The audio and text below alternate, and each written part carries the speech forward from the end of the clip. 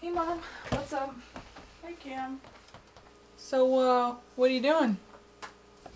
Oh, I'm just trying to get all of our photos organized. That sounds entertaining.